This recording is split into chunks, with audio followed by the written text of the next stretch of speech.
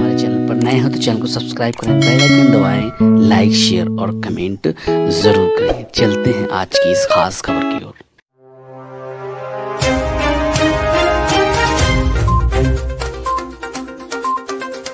उत्तर प्रदेश के बेसिक शिक्षा विभाग के उच्च प्राथमिक विद्यालय में जुलाई 2013 से हम सत्ताईस हज़ार अनुदेशक कार्यरत हैं इस महँगाई के दौर में एक एक अनुदेशक 100 से 150 किलोमीटर की दूरी तय करता है।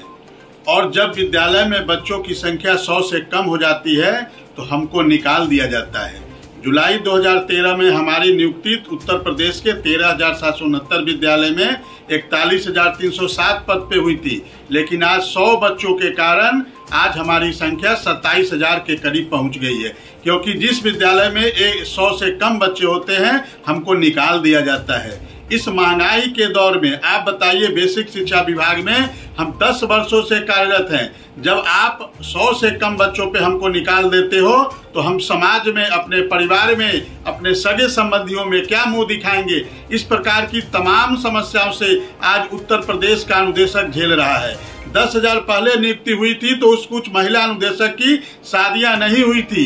दस वर्षों के दौरान चूँकि प्रकृति का नियम है, सामाजिक बंधन है, इन महिला अनुदेशकों की शादी हो जाती है तो किसी का ससुराल वो कार्य करने वाली बहराइच की है, उसकी शादी लखनऊ में हो जाती है। कार्यरत वो बस्ती में है, उसकी शादी बलरामपुर में हो जाती है।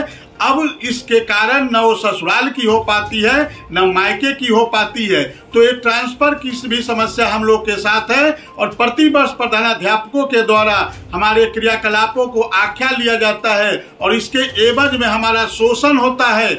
और जबकि हम कहना चाहते हैं, नई शिक्षा नीति 2020 में हमारी सभी विषयों को मुख्य विषय के रूप में माना गया है, इसलिए हम कहना चाहेंगे और उसमें स्पष्ट रूप से लिखा हुआ है कि इनके अस्थायी अध्यापक रखे जाने चाहिए।